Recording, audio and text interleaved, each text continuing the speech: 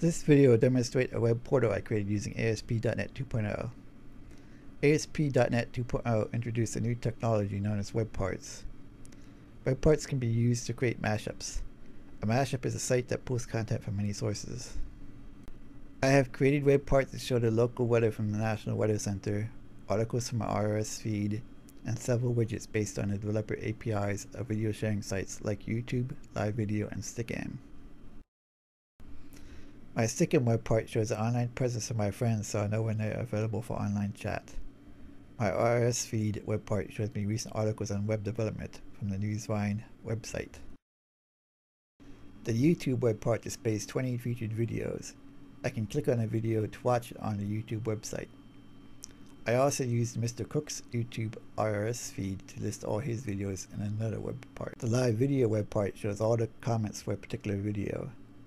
Another web part using a Live Video Developer API shows their featured videos. I can move web parts from one area of the web page to another.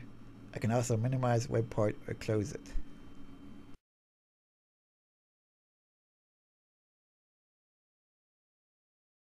The free text box HTML editor demonstrates how you can easily include productivity tools as new web parts.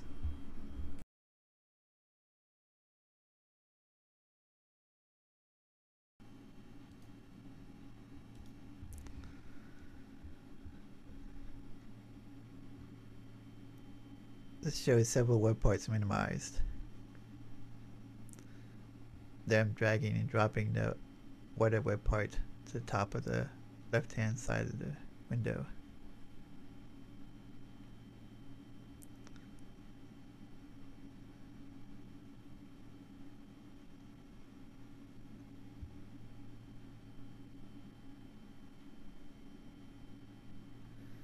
The page is reloaded, weather is over to the left. And over to the right we have Mr. Cook's videos listed.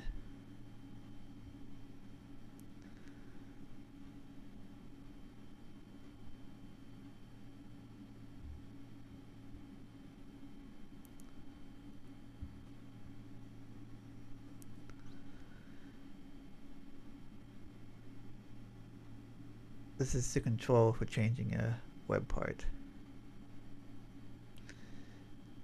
You can change the title or the Chrome or the position of the web part.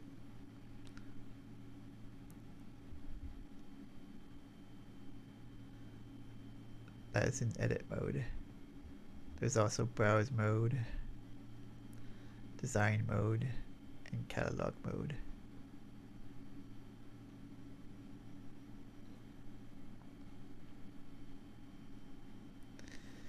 You can have a catalog of web parts that you can pick and choose for your web portal. And that shows the controls for minimizing and closing a web part.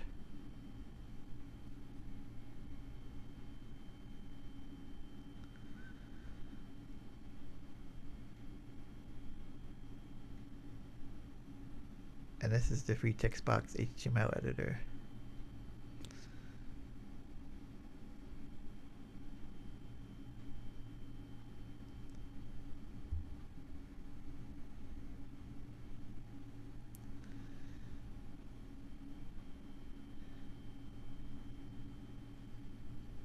I'm increasing the font size. I'm changing the font color.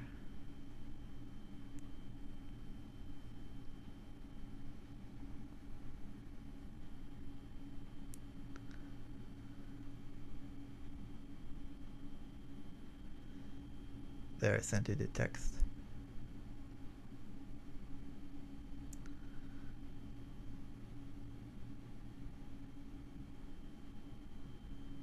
I made the text bold.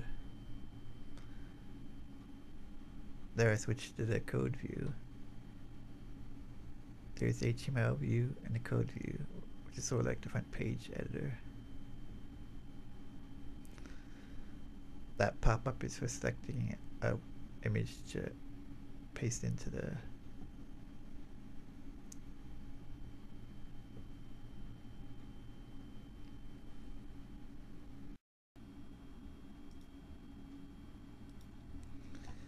Here's a more close-up view of the widgets.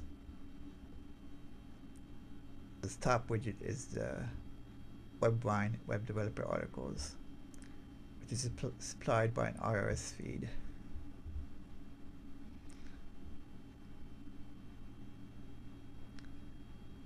There we can see the live video, featured videos using the developer API. It returns XML, which I format using XSL, sort of a style sheet for XML.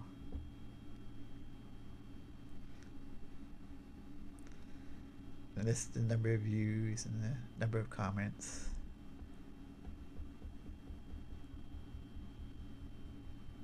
And the links take you to the video or to the user profile.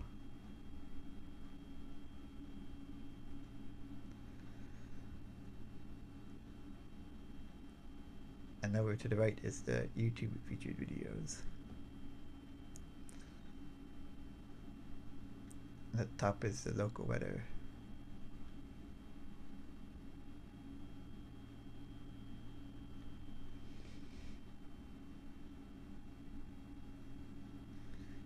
There's Mr. Cook's YouTube videos. If he added any new videos, I'd see him on a list. And there's the free text box editor for editing HTML in your browser. See, has a lot of buttons, just like a Microsoft Word. It's a full-featured text editor.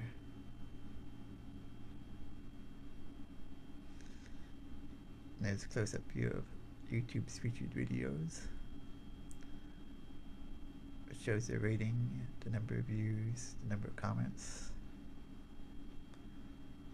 and also the video length.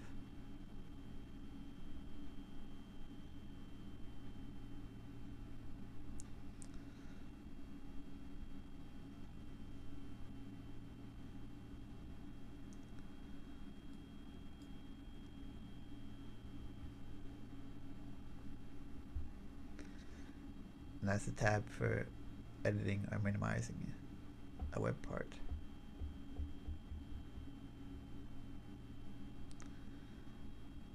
That causes the page to reload every time you change a setting like that.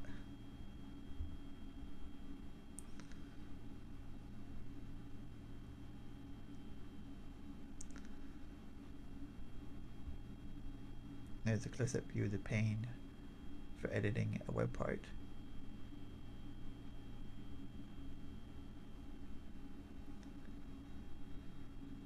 Change its position or its chrome, which is its uh, color scheme.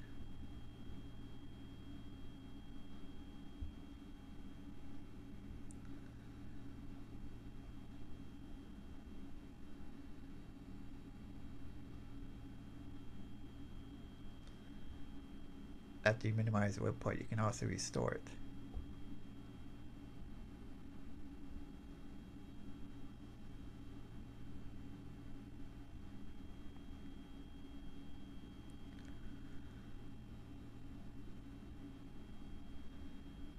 that demonstrates dragging and dropping a web part to a new location.